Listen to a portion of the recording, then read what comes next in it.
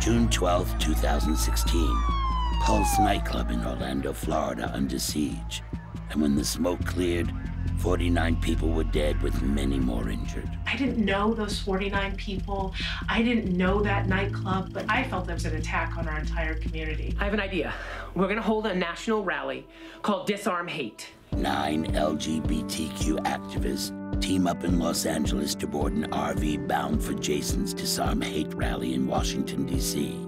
To get a full understanding of the issue, the team decides to visit LAX shooting range. It made me think of cops and robbers. Bang, bang, and just like that, a life can be gone. Because irresponsible people are given a tool that can take lives. What is the point of those high capacity rifles? This guy said that's for stress relief. Like go on a bike ride, that's what I do, or masturbate.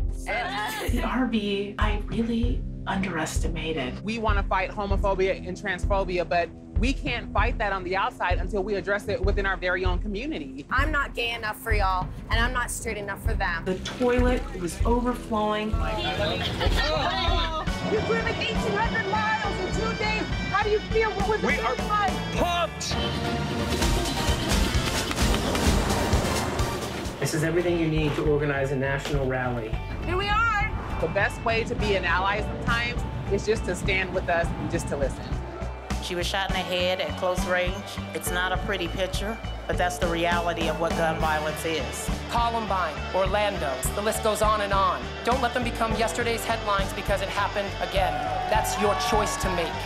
Disarm hate. See the film and be part of the movement.